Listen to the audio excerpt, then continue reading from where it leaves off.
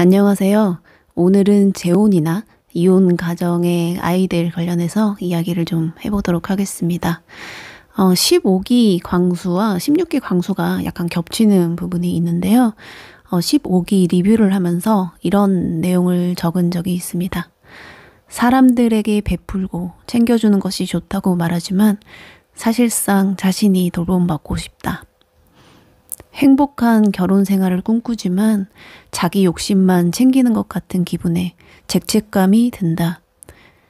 행복할 때 어, 불안한 양가 감정이 들어 오히려 시련에 강하고 익숙하며 마음이 편하다. 과거의 경험과 현재 상태를 안정시키기 위해 많은 생각을 해야 한다. 그리고 착한 내면을 가지고 있다. 첫인상 리뷰에서도 언급했듯 16기 광수님도 저러한 부분이 엿보이고요. 굉장히 상대를 배려하고 이성적인 사람이라고 판단이 되지만 너무나도 부자연스럽고 인간미가 덜한 모습에서 이러한 성향의 사람일수록 감정 표현에 서툰이 쌓여가는 감정이 어느 순간 터지게 된다면 크게 폭발할 가능성이 높은 사람이라고 어, 리뷰를 했어요. 16기 광수님은 어, 이혼 가정에서 컸고 어린 시절부터 부모님이 싸우는 것을 보며 자라왔고 그 기억이 고통스러웠기 때문에 자신의 아이에겐 그런 고통을 대물림하고 싶지 않다는 발언을 합니다. 그리고 여행이 취미고 새로운 경험과 만남을 두려워하지 않는다는 언급을 했는데요. 늘 다투는 부모님의 눈치를 보면서 자라와서 그런지 뭐 그 덕에 어, 사람들 눈치껏 이렇게 비유 잘 맞추는 사교성을 갖춘 것이 아닐까 싶었습니다. 다른 사람의 감정과 생각을 이해하고 공감하는 능력보다는 어떻게 하면 상대의 기분에 맞출 수 있을지 반응을 살피는 쪽에 가까웠을 것이기 때문에 속 깊은 관계를 맺는 데 있어선 애로사항이 있을 수 있는 거죠. 부침성이 좋은 사람들을 보통 사교성이 좋다고 표현하고요. 눈치가 좋아서 상대방의 비율을 맞출 줄 알며 살아가는 사람이 보통 사회성이 좋다는 표현을 합니다. 굉장히 사무적으로 상대를 대하는 모습이 어떤 모습으로는 젠틀해 보일 수도 있고 어, 배려한다고 느낄 수도 있지만 감정적인 표현을 하지 않는 부분이 다소 쎄하다고 표현한 것은 높은 사교성에 비해서 지나치게 감정 표현을 절제하는 모습을 보였기 때문입니다. 어, 그런데 자기소개에서 들어보니, 아, 그러한 어린 시절의 성장 과정이 있었다. 음, 저도 아이를 키우는 입장에서 뭔가 안쓰럽게 느껴지더라고요. 사람들과 친해지고 싶지만 감정 표현이 서툴다 보니까 겉으로는 친해 보일 수 있지만 좀 더 가까이 다가가려고 하면 이빨을 확 드러내는 뭐 고양이과 인간 같았던 거죠. 이혼을 하시는 분들 중 상당수가 자신의 감정을 적절히 표현하지 못해서 켜켜이 쌓아온 감정들 때문에 수습하기 불가능한 상황까지 오게 되고 그것이 원인이 되어 갈라지는 분들이 많다고 생각합니다. 그래도 다행인 건 광수님이 눈치가 없는 사람은 아니기 때문에 감정 표현을 어, 전달하는 방식을 어, 천천히 연습해 보신다면 4혼까지는 하지 않을 거라고 여겨요.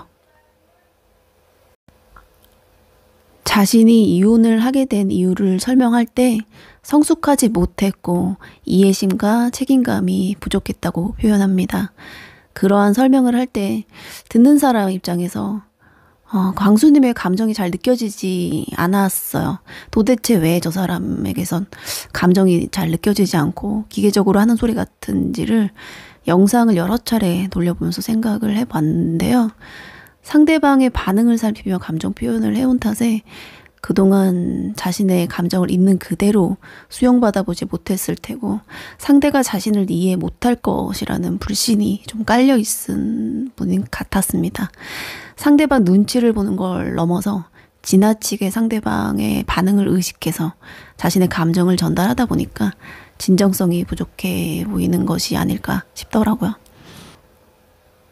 나이가 42살인데 어, 좀 늦은 감이 없진 않지만 그래도 이렇게 전국 방송에 나왔으니 광수님의 이러한 취약점을 이해하고 애정어린 말투로 감정 표현을 연습할 수 있는 편안한 상대를 음, 부디 만나셨으면 좋겠다는 생각을 해보았습니다. 진짜 마지막이라는 생각으로 결혼을 하셔야지 돌돌싱도 솔직히 멋이기 한데 돌돌돌싱은 절대적으로 피해야 한다고 생각하거든요. 사회성과 사교성은 모두 다른 사람과 관계를 맺는 능력과 관련이 있지만 그 의미는 다른데요. 사회성은 다른 사람과 의사소통하고 협력하고 이해하는 능력을 말하고 사교성은 다른 사람들과 어울리기를 좋아하고 쉽게 친해지는 능력을 말합니다. 사교성은 사회생활에서 중요한 역할을 합니다. 사교성이 좋으면 다른 사람들과 쉽게 친해지고 관계를 유지할 수 있기 때문입니다. 사회성이 좋다는 것은 단순히 어, 친구가 많은 것이 아니라 갈등 상황에 놓여 있을 때 해결을 잘 하는 것을 뜻하기도 합니다. 그리고 갈등을 잘 해결하려면 상대방의 눈치도 살필 줄 알아야 하고요. 사회성이 좋지 않으면 어, 사교성이 좋을 수 없지만 사교성이 좋더라도 사회성이 좋지 않을 수 있기 때문에 앞으로 나올 어, 광수 영철님과의 갈등 상황과 광수 어, 영숙님과의 갈등 상황은 어떤 방식으로 표현하면서 분위기를 풀어갈지 흥미로운 대목이 아닐 수가 없습니다. 구체적으로 나오지는 않았지만 어떤 갈등 상황이 놓여 있고 음, 광수님이 왜 말을 돌리지? 하니까 영철님이 다른 사람들이 피해 볼 수 있으니까 말을 아끼는 거야 라고 대답합니다. 그러자 광수님이 테이프 깔까? 본인이 한 말, 내가 한 말 나올 테니까 라고 하더라고요. 갈등 상황에서 감정 표현을 할 때는 구체적이고 객관적으로 표현하는 것이 중요하며 감정과 행위에 대해 분리해서 표현하되 구체적으로 자신의 감정을 표현해야 하고 상대방이 화가 났을 때는 상대방을 자극하거나 비난하거나 공격하는 말을 피하는 것이 좋은데요. 짧은 영상 속 대화라 광수님이 감정 표현을 해야 할 상황에 놓여 있을 때 어떤 언어로 표현하는지 분석하기에는 좀 애매하더라고요. 그래서 추후 그러한 모습들에서 광수님의 내면을 살펴본 후에 감정 표현의 대화법에 관련해서 어, 영상을 제작해 보겠습니다. 표현하지 않으면 자신의 내면을 타인이 정확히 이해하거나 읽을 수가 없어요. 그러니 이번 기회를 통해서 자신의 의사소통 능력이 얼마만큼 되는 사람인지 파악하는 좋은 기회가 어, 되었으면 좋겠네요. 광수님이 상대방의 반응에 지나치게 의식하며 이쁨을 받기 위해서 행동하는 모습이 너무 부자연스럽거든요. 뭔가 막 대화하면서 옥수님 잔머리를 이렇게 정리해주는 뭐 그런 모습 말입니다. 뭐 옥수님은 아무리 관심 없는 상대라고 해도 자신을 좋아해주는 사람에게 눈길이 간다고 했으니 어찌 보면 천생연분인 건가요? 진짜 이번에는 어, 좋은 짝을 만나서 죽는 날까지 함께 해야 하지 않겠습니까?